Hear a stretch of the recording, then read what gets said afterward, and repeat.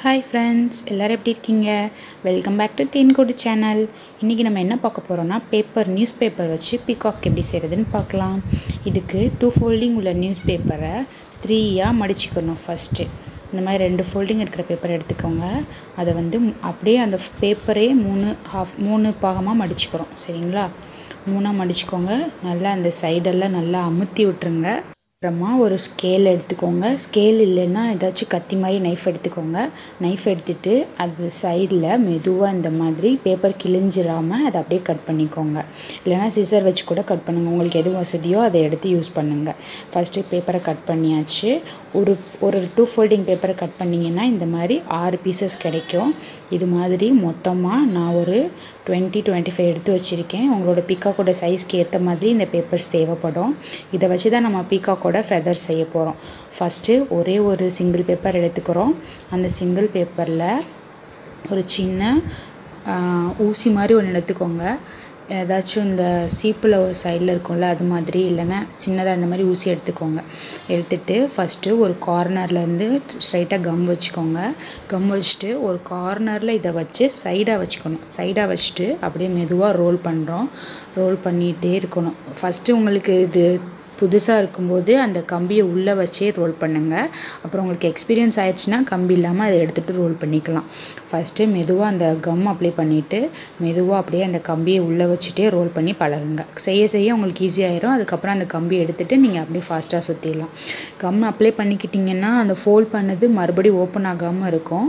அந்த சுற்றுறது இல்லைன்னா அப்படியே மறுபடியும் திறந்து கொஞ்சம் பெருசாயிரும். அதுக்காக தான் கம் வைக்கிறோம். நல்லா அந்த முடியும் போது நிறையா கம் வச்சுட்டு இந்த மாதிரி நல்லா சுருக்கி விட்டுருங்க. சுற்றுனீங்கன்னா எங்கேயாவது லைட்டாக அந்த ஸ்பேஸ் இருந்துச்சுன்னா அதுவும் நல்லா க்ளோஸ்ட் ஆயிரும். அதுக்கப்புறம் நான் மற்ற பேப்பர்ஸ் எல்லாத்துலேயும் மொத்தமாக அதே மாதிரி உருட்டி எடுத்து வச்சுக்கிட்டேன். இப்போது அதில் ஒரு ஸ்டிக்கை மட்டும் எடுத்துக்கோங்க. ஒரு ஸ்டிக்கை எடுத்து அதை நல்லா இந்த மாதிரி அமுத்தி விட்டுறணும்.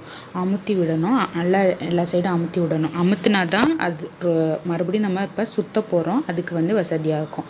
இப்போ ஒரு ஸ்டிக்கை எடுத்து நல்லா அமுத்திட்டோம். அமுத்துன அந்த ஸ்டிக்கை அப்படியே நல்லா ரோல் பண்ணணும். நல்லா டைட்டாக ரோல் பண்ணுங்கள் இது பீக்காக்கோட ஃபெதருக்கு நம்ம செய்கிறோம் டைட்டாக ரோல் பண்ணிக்கிட்டே வரணும். அப்போ தான் வந்து அது நல்லா இருக்கும் ஃபெதர் பார்க்குறதுக்கு இந்த ஸ்டேஜில் உங்களுக்கு கம் அப்ளை பண்ணணும்னு நினச்சிங்கன்னா கம் அப்ளை பண்ணி ரோல் பண்ணிக்கிட்டே வாங்க. நான் கம் அப்ளை பண்ணல லாஸ்ட்டு மட்டும் கம் வச்சுக்கிட்டா போதும்னு நினைக்கிறேன்.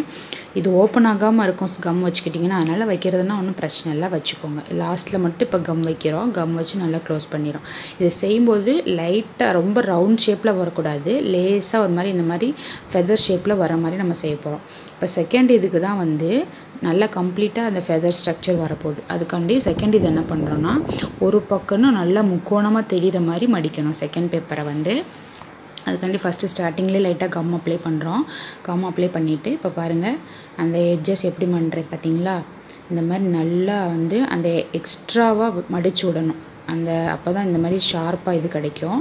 அதுக்காக இந்த மாதிரி எக்ஸ்ட்ராவாக மடித்து மடித்து ஒவ்வொரு ரோல் ஒவ்வொரு தடவை ரவுண்ட் ரவுண்ட் பண்ணும்போதுமே அந்த மாதிரி எக்ஸ்ட்ராவாக கொஞ்சம் விட்டு விட்டு மடிக்கணும். அப்போ தான் நம்ம இங்கே அமுக்கும்போது அந்த சைடு எக்ஸ்ட்ரா கொஞ்சம் வரும்.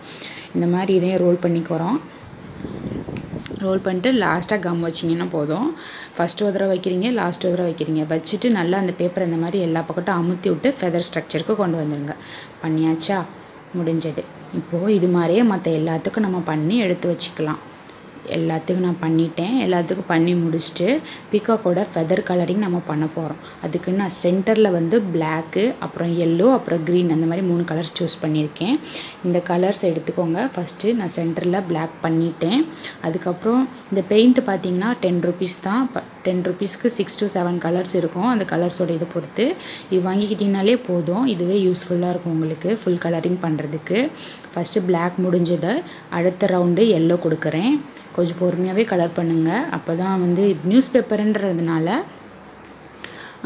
உங்களுக்கு அந்த கலர் வந்து லைட்டாக டம்மி ஆகிறதுக்கு வாய்ப்பு இருக்குது அதுக்காக ரெண்டு மூணு டைம் கோட்டிங் கொடுத்தாலும் பரவாயில்ல. நல்லா கலர் பிரைட்டாக கொடுத்தீங்கன்னா தான் பார்க்குறதுக்கு அழகாக இருக்கும்.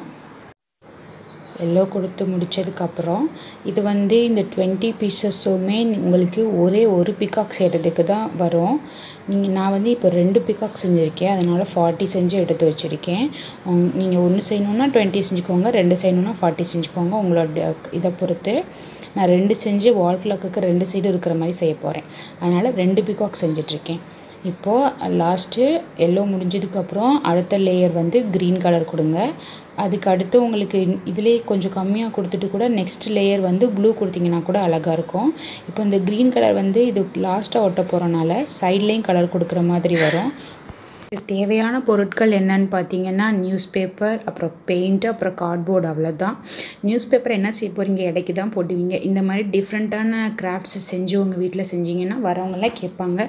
நீங்கள் வந்து நான் செஞ்சேன்னு சொல்லும்போது கொஞ்சம் உங்களுக்கு அதில் சந்தோஷம் கிடைக்கும். அதனால் இந்த மாதிரி வேஸ்ட் பண்ணாத வேஸ்ட்டாக போகிற திங்ஸை யூஸ் பண்ணி நீங்கள் இந்த மாதிரி டிசைன் செஞ்சு உங்கள் வீட்டை அழகு பண்ணலாம். அதுக்கு ஒரு ஐடியா தான் நான் கொடுக்குறேன். இதில் உங்களோட க்ரியேட்டிவ்க்கு ஏற்ற மாதிரி நீங்கள் மாற்றிக்கலாம் இப்போது ஒரு இது கலர் பண்ணி வச்சு இப்போ அதே கலரை நான் எல்லாத்துக்கும் கலர் பண்ணி வச்சுருக்கேன். இப்போது ஒரு கார்ட்போர்டில் பீகாக் வரைஞ்சிக்கிறோம். அந்த பீகாக்கோட ஸ்ட்ரக்சரை கட் பண்ணிக்கோங்க. இது நான் வந்து ரெண்டு பீகாக் செய்ய போகிறேன் லெஃப்ட் ஒன்று ரைட் ஒன்று இருக்கிற மாதிரி. அதுக்காக ரெண்டு கார்ட்போர்ட்ஸை நான் வெட்டி வச்சுருக்கேன். அதில் இப்போ கார்ட்போர்ட் வெட்டியாச்சு. இப்போ அந்த ஃபெதர்ஸ் வைக்கிற இடத்துல நம்ம கலர் பண்ணிக்கலாம். அப்போது அந்த ஃபெதருக்கு இடையில கேப் இருக்கும் இல்லையா? அந்த கேப் எல்லாம் வந்து ரொம்ப ஒரு மாதிரி டிஃப்ரெண்ட்டாக தெரியாமல் இருக்கிறதுக்காண்டி கலர் பண்ணிங்க அப்படின்னா அதுக்குள்ளே உள்ள கலர் கலராக தெரியறதுனால அதுவும் அழகாக இருக்கும். அதுக்காண்டி கார்ட்போர்டில் கலர் பண்ணிக்கோங்க. கலர் பண்ணி முடிச்சுட்டு அந்த ஃபெதர்ஸ் எல்லாத்தையும் எப்படி அரேஞ்ச் பண்ணணும் எப்படி கம் வைக்கணுன்றத கம் வைக்கிறதுக்கு முன்னாடியே அரேஞ்ச் பண்ணி பார்த்துருங்க. ஏன்னா கம் வச்சிட்டிங்கன்னா அதுக்கப்புறம் அது எடுக்க முடியாது. கேப் நிறையா இருந்துச்சுன்னா ஒரு மாதிரி அசிங்கமாக இருக்கும்.